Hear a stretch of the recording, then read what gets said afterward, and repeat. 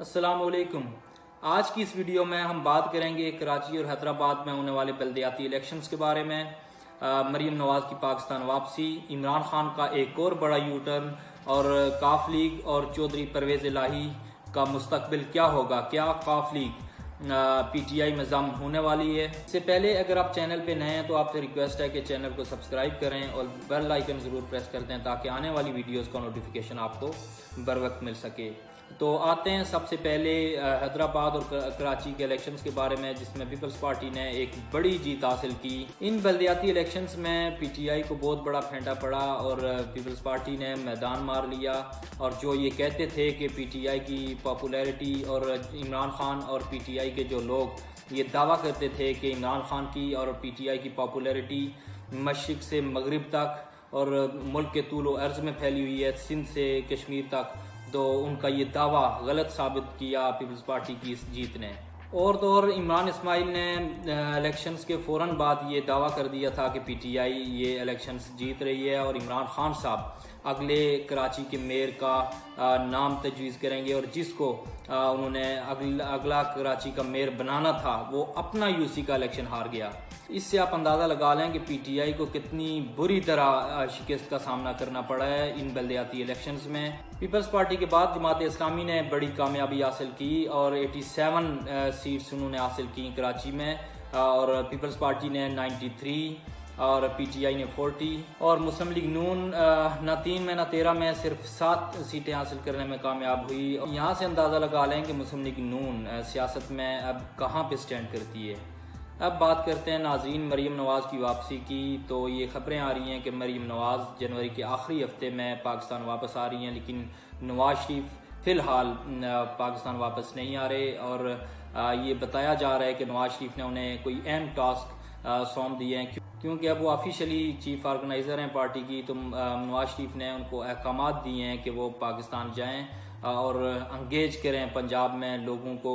और जो डैमेज हुआ है मुस्लिम लीग नून को ये हुकूमत लेने के बाद तो उसको कंट्रोल करें और दोबारा से रीऑर्गेनाइज करें पार्टी को। बिलखसूस, जब से शबाज शरीफ प्राइम मिनिस्टर बने, मुस्लिम लीग नून की सियासत को मुसलसल नुकसान होता जा रहा है, लेकिन उनके साहबजादे सलमान शहबाज वो अपने वालिद को ही तनकीद का निशाना बना रहे हैं और उन्होंने एक ट्वीट में ये कहा कि तीन जोकर्स ने पाकिस्तान की इकॉनमी का बेड़ा गर्क कर दिया और अब इसाक डार की उन्होंने तारीफ़ की कि इसाक डार आके बेहतर काम कर रहे हैं। लेकिन उनको ये नहीं पता कि जो पिछले तीन फाइनेंस मिनिस्टर्स थे, दो पीटीआई के और एक उनकी अपनी पार्टी का, उनके अपने वालिद का लगाया हुआ फाइनेंस मिनिस्टर मफ्ता इस्माइल थे जिनको वो जोकर कह रहे हैं।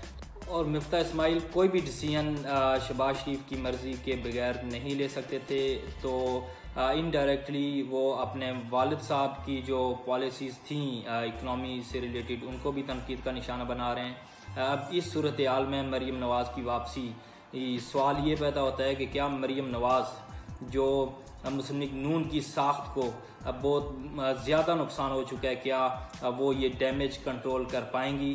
और क्या आगे आने वाले जो पंजाब के इलेक्शन हैं, वो मरियम नवाज़ लीड करेंगी? ये आने वाला वक्त ही बताएगा। अब नाजीन आखिर में आते हैं। इमरान खान साहब ने चौधरी परवेज इलाही और मोन सिलाई को खुडे लैन लगा के कौमी असम्बली में वापसी का इशारा दे दिया। उनका ये कहना था कि चूँकि अपोजिशन लीडर कौमी असम्बली में राजा रियाज हैं तो अगर वो असम्बली में वापस नहीं जाते तो शबाज शरीफ और राजा रियाज मिल के निगरान सेटअप लेके आएँगे जो कि उनको सपोर्ट करेगा और आगे जो इलेक्शंस होंगे तो उनके अंडर होंगे। इससे मुस्लिम लीग नून को फ़ायदा मिलेगा। इससे, इसके अलावा इमरान खान का ये कहना था कि छः M N as Muslim League Noon के उनके साथ कांटेक्ट में और जिन, जो पीटीआई ज्वाइन करना चाहते हैं, लेकिन उनका पहले टेस्ट होगा। तो सवाल ये पैदा होता है कि टेस्ट क्या हो सकता है? टेस्ट ये कि उनका ये ख्याल है कि सदर आरिफ अलवी वज़ीर अजम शबाज शरीफ को अतमाद का वोट लेने का कहेंगे और उस, जिस दिन वो अतमाद का वोट लेंगे, ये छः बंदे वहाँ से गायब होंगे। तो ये उनका टेस्ट होगा और उसके बाद वो पीटीआई में शामिल हो सकते हैं। अब नाजीन लग ये रहा है कि जो इस सारी सूरत हाल में सबसे बड़ा लूजर है, वो परवेज इलाही और मोन सिलाई हैं, जो कि चंद माह जिन्होंने पंजाब पे हुकूमत की और चंद माह पहले ये महसूस हो रहा था कि सबसे ज़्यादा जो है ना, फ़ायदा परवेज़ इलाही और मुनिस इलाही ने हासिल किया। इमरान खान ने इनसे सीट एडजस्टमेंट, जो कि चौधरी परवेज़ इलाही ये चाह रहे थे कि उनको तीस सीटें पंजाब में मिलें सूबाई असम्बली की और कौमी असम्बली की पंद्रह सीट्स और वो बात कर रहे थे इमरान खान से और पीटीआई से सीट एडजस्टमेंट पे। तो इमरान खान साहब ने सीट एडजस्टमेंट की बजाय उनको अपनी पार्टी को पीटीआई में जम करने का कह दिया। चौधरी परवेज इलाई इस बात पर गौर कर रहे हैं और मशावरत कर रहे हैं। लेकिन दूसरी तरफ़ जो पार्टी के सदर हैं, काफली के सदर चौधरी शुजात ने परवेज़ लाई की रुकनीत मअतल कर दी डिसिप्लिन की खिलाफ वर्जी के बारे में और उनको शो काज नोटिस जारी कर दिया।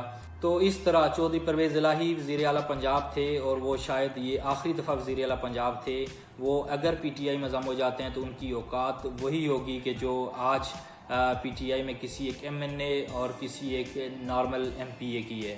अगर Chaudhry Pervaiz Elahi P T I में जम होना भी चाहें तो वो अपनी पार्टी को जम नहीं कर सकते, बल्कि फ़र्द वाहिद वो पी टी आई में शामिल हो सकते हैं, लेकिन उनकी औकात और उनकी वैल्यू वही होगी। उनको भी दूसरे एम एन एज़ की तरह लाइन में लगना पड़ेगा, इमरान खान साहब से मुलाकात के लिए लेकिन वो काफ लीग में होते हुए दस सीट्स के साथ वो वज़ी अला पंजाब रहे। और वो सियासत का मरकज बने रहे। तो इस तरह नाजीन चौधरी परवेज़ लाई को सबसे ज़्यादा नुकसान हुआ और इमरान खान साहब ने उनको डिच किया। पहले उनको ये कहा कि सीट एडजस्टमेंट होगी, नेगोशिएट कर रहे थे उनके साथ, लेकिन उसके बाद इमरान खान ने उनको अपनी पार्टी को ही पीटीआई में जम करने का बोल दिया। तो इस तरह इस सब में सबसे बड़ा नुकसान चौधरी परवेज़ इलाही का हुआ जो कि पूरा अतमाद खो चुके हैं चौधरी शुजात का और अपनी वजारत आला वो खो चुके हैं, पंजाब असम्बली तहलील हो चुकी है, लेकिन के पी के असम्बली तहलील होती मुझे नज़र नहीं आ रही। नाजीन आज इतना ही उम्मीद है कि आपको आज की वीडियो अच्छी लगी होगी। मिलते हैं एक नई वीडियो के साथ, तब तक अपना और अपनों का ख्याल रखें। अल्लाह ने के